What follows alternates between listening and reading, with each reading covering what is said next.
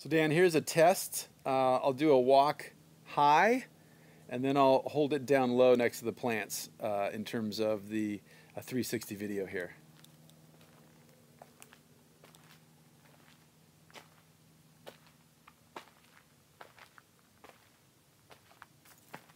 So we're going from the light into the shade. And then we'll go low.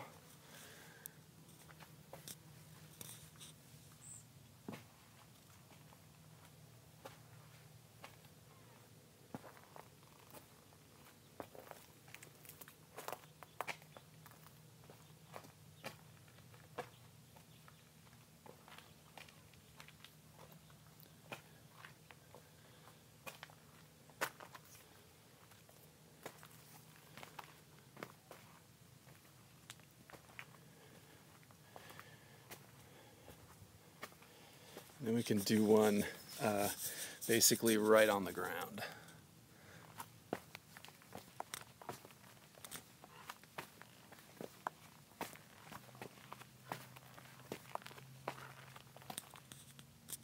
So there's a demo of this is our Ricoh uh, 360 camera.